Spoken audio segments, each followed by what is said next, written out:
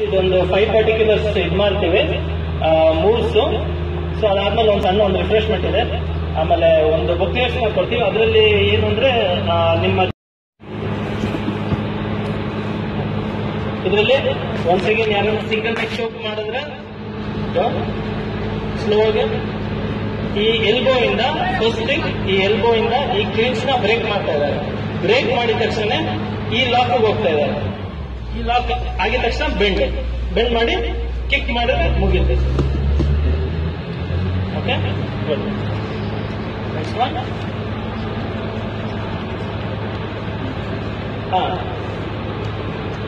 ಇದು ಸುಮಾರು ನೀವು ನೋಡಿರ್ಬೋದು, ಈ ಯೂಶಲ್ ಆಗಿ ಈ ಜುಟ್ಟು ಇಟ್ಟು ನಿಮ್ಗೆ ಎಳೆಯೋದು ಸುಮಾರು ಇದೆ. ಯಾರನ್ನ ಹಿಂಗೆ ಇಟ್ಕೊಂಡು ನಿಮ್ಮನ್ನ ಎಳಿದ್ರೆ, ಆ ಹ್ಯಾಂಡಲ್ ತರ ಮಾಡಿದ್ರೆ ಒಂದ್ ಸೆಕೆಂಡ್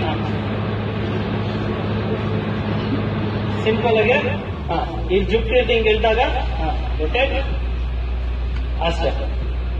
ಏನ್ ಮಾಡ್ತಾ ಇದಾರೆ ಅಂದ್ರೆ ಆಪೋಸಿಟ್ ಅವ್ನ ಕಡೆ ತಿರುಗ್ತಾ ಇದಾರೆ ತಿರುಗ್ಬಿಟ್ಟು ಜಸ್ಟ್ ಅವನ್ನ ಹಿಡಿದು ಕಿಕ್ ಮಾಡ್ತಾ ಇದಾರೆ ಅಷ್ಟೇ, ಇನ್ನೇನು ಇಲ್ಲ.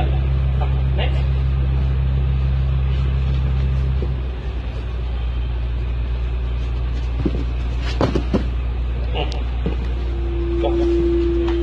ಸ್ಲೋಲಿ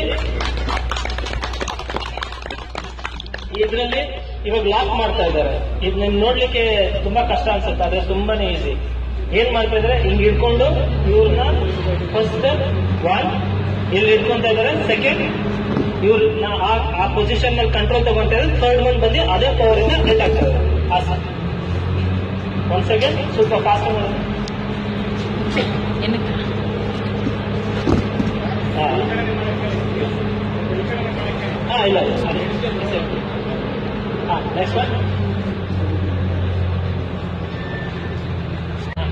ಇನ್ನೊಂದ್ಸರಿ